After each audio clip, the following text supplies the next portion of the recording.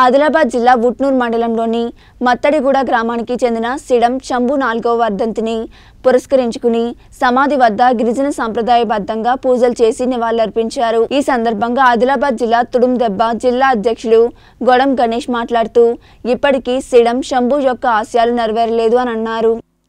ఆశయాలు నెరవేర్చడానికి మనమందరం కలిసి ఐక్యంగా ఉద్యమించారన్నారు. జల్ జంగల్ జమీన్ మేధభూమి భుక్తి విముక్తి స్వేచ్ఛ సమానత్వం కావాలని చెప్పేసి ఆదివాసుల అందరినీ కూడా ఉమ్మడి ఆంధ్రప్రదేశ్ వ్యాప్తంగా కలయ తిరిగి శ్రేయాశక్తుల కేంద్ర రాష్ట్ర ప్రభుత్వాల విధానాల పట్ల వ్యతిరేకంగా ఆదివాసీల విధానాలపై నష్టం కలిగిస్తున్న ప్రభుత్వాలపై నిరంతరం పోరాడినటువంటి మహానుభావుడు సిడం శంభు మన మధ్య లేకపోవడం చాలా బాధాకరమన్నారు. ఈ కార్యక్రమంలో ఉయ్యక సంజీవ్ రాష్ట్ర కార్యవర్గ సభ్యులు వెట్టి మనోజ్ ప్రచార కార్యదర్శి మహిళా సంఘం జిల్లా ప్రధాన కార్యదర్శి పెందూరు పుష్పలత తదితరులు పాల్గొన్నారు.